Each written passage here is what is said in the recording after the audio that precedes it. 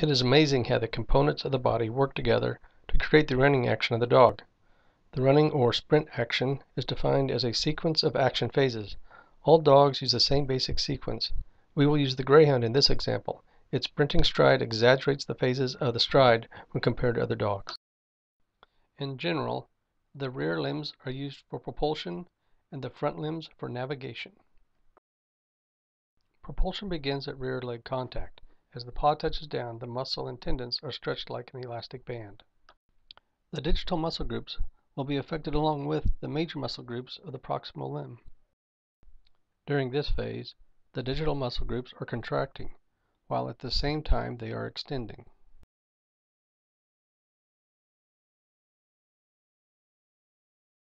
This action helps to stabilize the foot contact. The digital muscle groups are attached to the toes through the tendons. There is a spring coil effect created by the stretched muscles and tendons. This helps propel the body upwards and forward.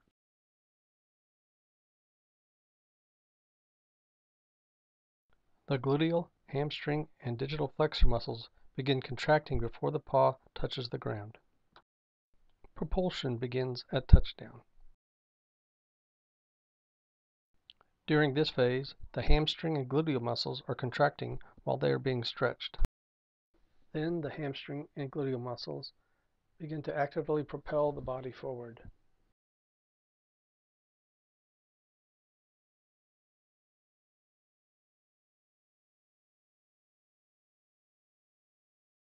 After the paw leaves the ground, the propulsion effort is transferred to the other leg until it leaves the ground.